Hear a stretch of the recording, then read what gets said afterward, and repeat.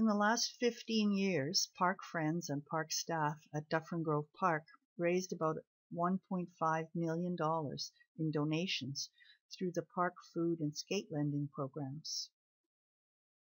These food and skate lending programs worked like a circle. For example, staff cooked food for the park cafes. People who ate the food gave cash donations, which covered the ingredients costs, the cook's time, with a little left over. On Thursdays at the park farmers market, staff took the rest of the cash and bought new groceries. Then they cooked more food for Friday night supper. People ate the food and donated more money, which could be used for more groceries and for more staff to cook with a little left over for park sports and crafts. So food and skate lending in the park worked like a fundraiser for the park, not a business. People who could afford to donate more than the suggested amount sometimes did. And people who felt they couldn't afford the whole amount or anything at all could eat and borrow skates anyway. They often stuck around and helped with the dishes or snow shoveling. The bank account was handled by the park-based charitable group the Centre for Local Research into Public Space, or CELOS. The staff kept careful accounts. All receipts were recorded using the QuickBooks accounting program and then filed away in envelopes at the CELOS office. Around 2010, city management, Dufferin Grove program staff, and CELOS started planning how the city could take over the cash handling for the food and skate programs.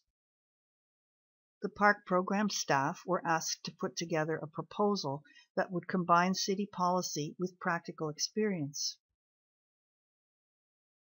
They worked out a good plan, but it got put on the shelf. Instead, city management assigned a community center staff person to create a new way of handling the donations and running the programs. Cash handling. Program staff were not allowed to do the bookkeeping anymore. Instead, it went straight into a safe and then off site. Budget information about revenue and spending was no longer shared with program staff or park friends. The cooks were no longer allowed to use the cash from the donations to buy groceries at the farmers market. Instead, the cooks had to buy most of the groceries at No Frills. A full-time community center staff had to go along every time and pay with the city's purchasing credit card. There was no longer an account to pay for the organic supplies which the bakers and cooks used to buy in bulk. The big bins the cooks and bakers used for storage were replaced by small bags of supplies, often not organic. Bigger quantities of cooking supplies can be obtained through a departmental purchase order, a DPO, but that will require yearly projections of every item that might be needed. Predictions of what will be needed are hard to make on that scale, since programming is weather dependent. Fewer people came to the playground in last summer. Poolside donations went down by 14%, $7,000 less. In the winter, fewer skaters came to the rink, and revenue from the rink's Zamboni Cafe and skate lending went down by 28%, $17,000 less. It's hard to know what the city is trying to achieve with its accounting.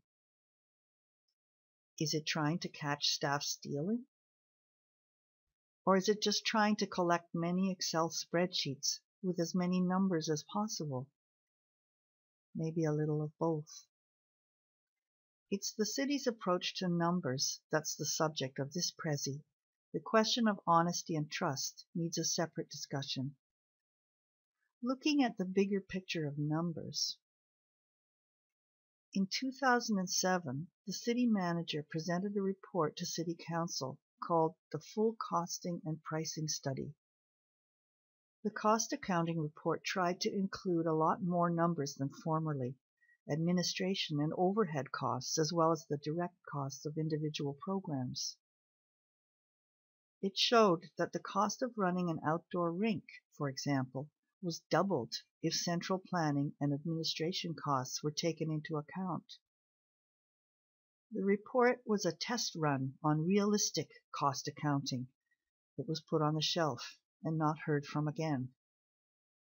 But in 2012, the city's finance department again called for full cost accounting.